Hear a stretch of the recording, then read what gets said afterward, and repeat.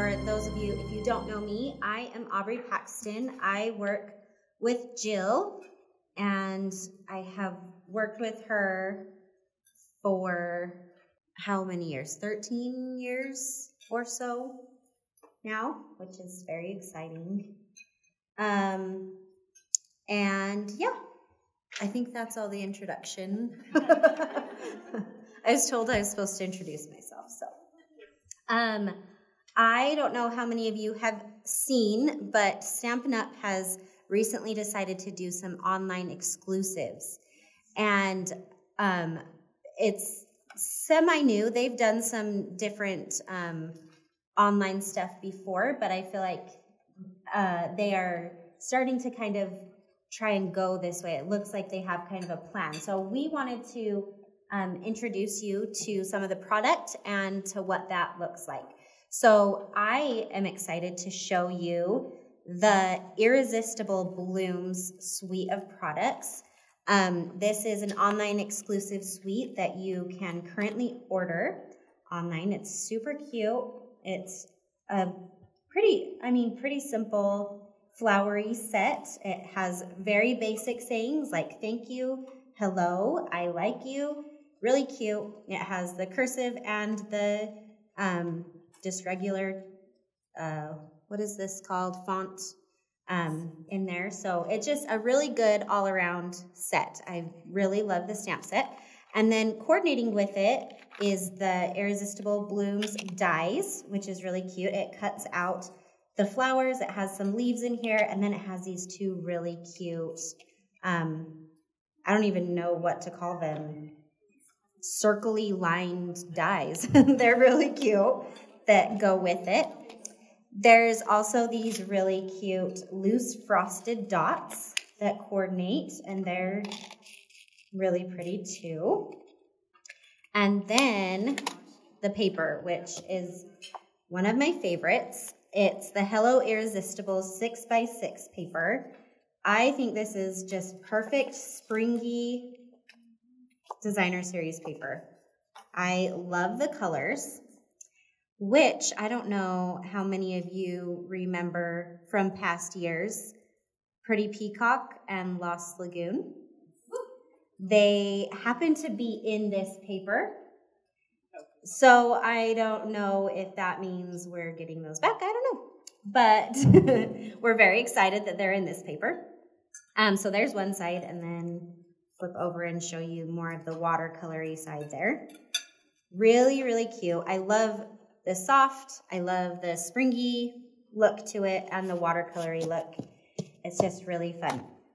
So I wanted to show you a few different ideas using this. Um, I feel like when whenever I run into somebody that has had experience or frankly no experience with crafting or making cards, it's either like, oh, I love that. I I want to get back into that. I used to do it years ago, or it's, oh, I'm terrible at stamping and I could never do anything like that. And it's like, yes, you can. Everybody can. So I I wanted to um, come up with some ideas for like a stamper that's beginning or loves simple ideas, someone that's maybe that middle of the road person, and somebody like me who needs all of it and wants to use all of it and make all the pretty things.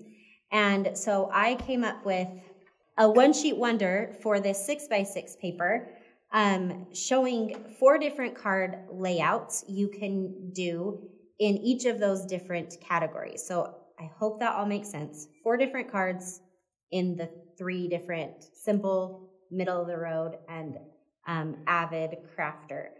So this would be your card one using this um, four by three piece. Card two would be using this three by two piece. Card three is using these four strips of three by three quarters. And card four is using these four one and a half inch squares. I will show you all of the cards that I came up with using these, but I'm gonna focus on this card three layout. I wanna show you each of the cards that I came up with using that. So for card one, for a beginner, I'm just going to focus on the stamp set and the DSP because uh, you can't not use the DSP. What does DSP mean? Designer series paper, patterned paper. Um, Stampin' Up, in the world of Stampin' Up, it is, we refer to it as DSP. So um, I'm going to use DSP, designer series paper, and um, the stamp set. So I'm going to first start by using Petal Pink, and I'm just going to stamp on the back of my cardstock here, just this pretty flower, and give some interest to the back of my card. Okay, and then I want to stamp my saying. I have a little piece here somewhere. I'm going to use the Hooray, It's Your Day and stamp that in Flirty Flamingo.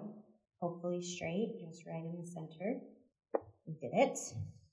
Okay, and the um, layout I'm going to use on this one, I have these four strips, and I'm going to first cut a banner into this. Here's a tip. If you want a banner, cut up the center, and then from the edge to the top of the center from each side. And you'll get a pretty straight banner every time. So this is going to just go straight onto my card, onto the front. And then I'm going to take those four strips, and you can tell this is the paper that I used on this card. So it's out of this top piece, and I'm gonna get this little flower out of that. So I want that flower to kind of stand out on my card. So I'm gonna flip over the other two pieces and just use this watercolory side, and that's gonna be my background.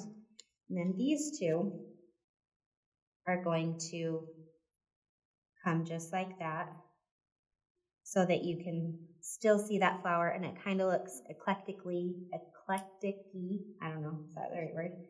And then I'll just put my saying right there. So I have that card, just bring it in here. Super simple. And it looks like I did a lot more work than I actually did on there. So fun. Okay, for my next one, again, I am going to use my four strips from that paper, but I also cut out the a flower from this. So you can see this paper has these really cute flowers. Now, if you were to add the dies in, you could use the dies to cut these flowers out right out of the paper. It's super nice. I fussy cut this one because I'm not, if I'm a casual stamper or a stamper that is kind of middle of the road. I have some product. I don't have everything. Maybe I don't have a die cutting machine. I can still cut these flowers out and they're really cute. It's a little, I mean, fussy cutting isn't always my favorite thing, but I can do it. So I have my strips. What I am adding in this time, other than, where did they go? Other than my stamps and my paper, I'm going to add in my cute little frosted accessories because they're really fun and they'll add just a little extra element to my card. So I'm going to line these up. I had them all um, laid out so that they lined up and then they got all mixed up. So let's see if we can put the puzzle together real quick. I'm going to adhere this onto this piece of white. So when I am doing kind of one of these panel cards where I have different strips and I'm trying to get them to um, look like little panels on the card.